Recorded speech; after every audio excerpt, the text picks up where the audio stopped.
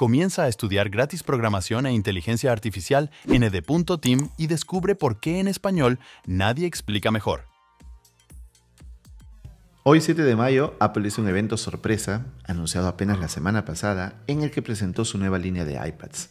Aunque más que un evento, fue un video grabado de 40 minutos, donde los ejecutivos de Apple leen un guion de forma muy poco natural. Sin embargo, lo más importante que Apple lanzó hoy no son los iPads, sino el chip M4 lanzado apenas 6 meses después de los M3 que salieron en octubre del año pasado. ¿Por qué la prisa? ¿Obsolescencia programada? ¿O con quién Apple quiere ponerse al día? Creo que no es muy difícil de adivinar. En este video vamos a hacer un repaso breve por esos lanzamientos y analizaremos qué significan dentro del ecosistema de Apple y de la tecnología en general. Así que si estás cansado de esos videos de fanboys que no analizan nada, repiten lo mismo como un loro y se emocionan por un trapito, este es el video que buscabas para entender por fin hacia dónde se está moviendo Apple, porque nos guste o no es un jugador muy importante en el mundo de la tecnología que tanto nos interesa como desarrolladores. Porque estás en EDTeam y tú sabes que en español nadie explica mejor. Tim Cook abrió el video diciendo que las Apple Vision Pro lanzadas en febrero están revolucionando el mundo. Aunque nosotros como personas informadas sabemos que no solo los usuarios las están devolviendo, sino que sus ventas se han ido al piso. Luego habló de las MacBook Air con chip M3 lanzadas en marzo y que son las laptops más vendidas en el mundo en sus respectivos tamaños, 13 y 15 pulgadas. Y aquí sí estoy de acuerdo porque creo que al día de hoy no existe laptop más completa que la MacBook, sobre todo por la duración de su batería y el rendimiento desde la llegada del procesador M1 en 2020, aunque de esto hablaremos más en un momento. Luego anunciaron los iPad Air, que similar a lo que hicieron con las MacBook Air vendrán en dos tamaños, 11 y 13 pulgadas. Este es un movimiento estratégico porque hay personas que solo necesitan más tamaño de pantalla, no más potencia como para dar el salto al modelo Pro y gastarse un billetazo extra. Según Apple, estos iPads llegan con una brillante pantalla retina, aunque es difícil de creer porque históricamente la pantalla de los iPad Air han sido opacas y muy difíciles de ver a la luz del sol. Otra cosa que comentan es que el iPad Air grande, o sea el de 13 pulgadas, tendrá mejor sonido y bajos más potentes. Y aquí sí les creo porque la MacBook Air de 15 pulgadas tiene mucho mejor sonido que la de 13, así que debe ser similar. Este nuevo iPad Air llega con el chip M2, así que sin exagerar y sin humo, tiene el mismo rendimiento que una laptop, aunque su sistema operativo no esté a la altura. Esa es otra cosa. Es más, el M2 es el chip que tiene la última versión del iPad Pro lanzada hace año y medio, así que en realidad si te compras un iPad Air, tienes un iPad Pro adentro. El precio base del iPad Air es de 599 dólares sin impuestos, ni gastos de envío, ni ganancia del intermediario, así que para los que vivimos en Latinoamérica, fácilmente debe estar costando el doble. Para anunciar el iPad Pro usaron un video raro en el que se veía un estudio de sonido siendo aplastado por una prensa y mientras todo cruje va derramándose pintura de colores y al final de los escombros, luego de que la prensa termina de destruir todo, sale un iPad. O sea, entiendo el mensaje, pero el video fue bastante incómodo, al menos para mí. Este nuevo iPad Pro tiene los mismos tamaños de su anterior versión y que los iPad Air, 11 pulgadas y 13 pulgadas. Y dicen que es el producto más fino en la historia de Apple aunque lo dicen de una manera tan robótica y desabrida que me fue inevitable recordar la emoción que sentí cuando Steve Jobs dijo que la MacBook Air era la más fina del mercado allá en 2005. The new iPad Pro is even thinner than the iPod Nano, which makes it the thinnest Apple product ever. 0.76 inches down to an unprecedented 0.16 inches. Let me take it out here.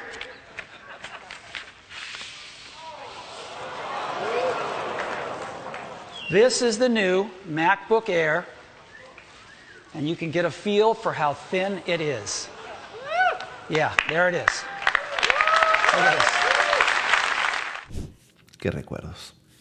Este iPad tiene por fin la pantalla OLED, que es la tecnología más avanzada en pantallas para dispositivos móviles, y combina dos paneles OLED para crear una mejor calidad de imagen que ellos llaman Tandem OLED. Los anteriores iPad Pro tenían una pantalla mini LED y los iPad Air y iPad mini tenían una simple LCD. Así que la calidad de imagen del iPad Pro debe ser excepcional, porque llegan a 1000 nits de brillo, suficiente para verse a plena luz del sol sin problema. Además, le han agregado una capa antirreflectante para poder usarlo al aire libre sin los molestos reflejos del sol o de otros objetos que hacen que la pantalla se convierta en un espejo y no veas nada. Este nuevo iPad Pro fue lanzado con el nuevo Magic Keyboard, cuya mayor ventaja frente al modelo anterior es que trae teclas de función y la tecla escape. Es en serio, el modelo anterior no tenía la tecla de escape y era un estrés estar en el día a día sin esa tecla. Además, trae la cuarta generación de Apple Pencil, llamada ahora Apple Pencil Pro, cuyas principales ventajas son que además del doble toque, puedes presionarlo o girarlo y el lápiz va a reconocerlo gracias a su motor áptico y a su giroscopio.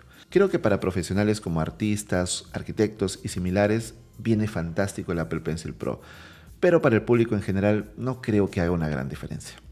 Y por cierto, por más que te lo vendan como una computadora, el iPad no reemplaza a una laptop. Sí, sé que con su lapicito y su teclado parece una computadora muy capaz, pero no caigas en esa trampa. Todos los que han pensado lo mismo terminaron renegando y volviendo a una laptop luego de pelear con el iPad y su sistema operativo, que tiene muchas carencias para llegar al nivel de una computadora. Así que el iPad es un excelente dispositivo, pero no reemplaza una laptop. Tenlo en cuenta. La tecnología, la programación y la inteligencia artificial no se detienen y transforman al mundo a una velocidad tan rápida que ninguna universidad del mundo puede cambiar su plan de estudios al mismo ritmo. Por eso, si estás en la universidad, refuerza en EDETIM, sé el mejor de tu clase y mantente actualizado en las tecnologías que piden las empresas. Y lo mejor es que por ser estudiante, tienes una beca del 50% esperándote. Ve a ed.team diagonal becas y postula ya mismo. No esperes a terminar la universidad para darte cuenta, demasiado tarde, que estás desactualizado. Recuerda, ed.team diagonal becas. El más grande lanzamiento de Apple en su último evento no han sido los iPad Air ni los iPad Pro, ni el nuevo Apple Pencil. El lanzamiento más importante es el chip M4 que por primera vez se lanza dentro de un iPad y no en una Mac. Y esto tiene una explicación y te va a sorprender. Pero primero un poco de contexto. En 2020 Apple lanzó sus propios chips, los M1. Estos chips tienen una arquitectura ARM que es la que se usa para móviles, no para computadoras por lo cual era impresionante que Apple haya conseguido mejor rendimiento con un procesador móvil que su competencia, Intel o AMD, con procesadores de escritorio o x86. Y además con menos consumo de energía y desprendimiento de calor, por lo que tenemos laptops con una batería que dura todo el día y ultra silenciosas. Y si eso fuera poco, suman el trabajo descomunal de adaptar su sistema operativo a otra arquitectura de procesador. No soy fanboy de Apple, y los que me conocen lo saben. Pero esto es para aplaudir de pie. La única compañía que ha hecho esto es Apple, y dos veces. La primera en 2005, cuando migraron del PowerPC a Intel, que dejó impresionado al mismísimo Bill Gates, como cuenta Walter Isaacson en la biografía de Steve Jobs. Así que cuando la gente me dice que Apple no innova, mi respuesta es que los Apple Silicon, o sea, la familia de procesadores M1, M2, M3 y M4, son una de las mayores innovaciones de los últimos años. Y si no te das cuenta de eso, es porque no entiendes cómo funciona la tecnología. Pero volviendo al evento de hoy, estos chips siempre se han lanzado en Mac para posteriormente adaptarse a los iPad. Entonces, ¿por qué ahora fue al revés? Yo cuando lo vi, te cuento, no lo podía creer. Es más, fui a googlear pensando que yo de tonto me había perdido el lanzamiento de los M4 que había sido meses atrás. Pero no. Realmente se estaba lanzando un chip M4 en un iPad. Y esto no tiene sentido, al menos a primera vista. Pero sí tiene sentido. Y los últimos 18 meses nos dan la respuesta. Inteligencia artificial. Déjame explicarte. El chip M4 está pensado para procesar inteligencia artificial con una NPU o unidad de procesamiento neural, o sea, el chip para inteligencia artificial en otras palabras, con una potencia de 38 trillones de operaciones por segundo, o TOPS. Este número es una barbaridad y es más del doble del M3 que tiene 18 TOPS de potencia. ¿Y? Pues creo que ya sabes que Apple es la empresa que más atrasada está en inteligencia artificial y que al no lograr desarrollar sus propios modelos está en conversaciones con OpenAI y Google para integrar la IA en sus próximos productos. Así que muy probablemente tendremos una Siri AI potenciada por Gemini o ChatGPT en la próxima versión de iOS que será anunciada en la conferencia para desarrolladores en junio. Y la estrategia de Apple es que esta IA sea principalmente local, es decir, que se ejecute en el dispositivo. Esto es algo que otros fabricantes ya están haciendo, pero Apple lo puede hacer a otro nivel porque tienen el liderazgo con sus chips. Y por eso es que los NPU dentro de sus chips son una pieza clave. Supongo que ya sabes, o deberías saber, que la estrategia de marketing de Apple es que respetan tu privacidad y no venden tus datos ni te espían como otros. Así que siguiendo con esa línea, van a ofrecer IA en todos tus dispositivos, respetuosa con tu privacidad y que ayudarán a las personas en su vida diaria. Hasta aquí todo bien. Creo que se entiende su estrategia para integrar la IA dentro de sus chips y la importancia de que tengan una NPU poderosa. Pero esto no explica por qué hicieron un evento sorpresa y metieron a la joya de la corona, el M4, en el iPad y no en una Mac. Vamos a eso. Desde que Apple lanzó los M1 en 2022 comenzó una carrera desesperada de sus competidores por ponerse al día. Microsoft, Intel, AMD o Qualcomm de un día al otro quedaron años atrasadas frente a Apple. No estoy exagerando. Lo que había hecho Apple era un milagro tecnológico, pero tal parece que al fin Apple tiene un digno rival, pues hace poco Qualcomm lanzó la familia de chips Snapdragon X, que en multinúcleo igualan el rendimiento de los chips M3 de Apple.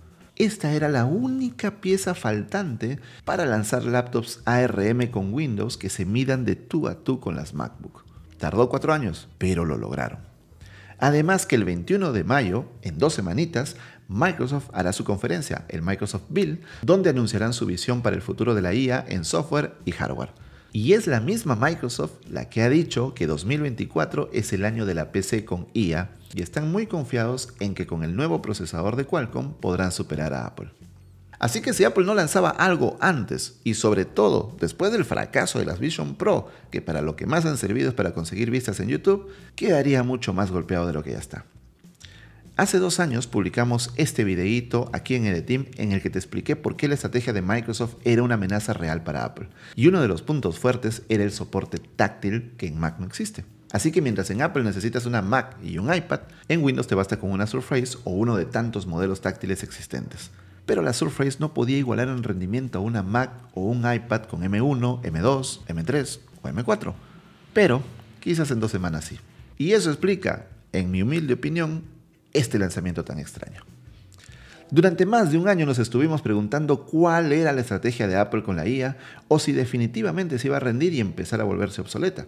Hoy, Apple nos ha dado la respuesta. Pero todos los que están pensando en los megapíxeles y en el nuevo Apple Pencil ni se han enterado. Si este video te gustó, recuerda seguirnos para mantenerte actualizado en el mundo de la tecnología, la programación y la inteligencia artificial. También puedes visitarnos en ed.team para aprender programación e inteligencia artificial con las mejores explicaciones en español. Porque tú sabes que en español nadie explica mejor que Edeteam. Y si no sabías cuál era la estrategia de Apple con los nuevos iPads y el chip M4, hoy lo aprendiste en Edeteam.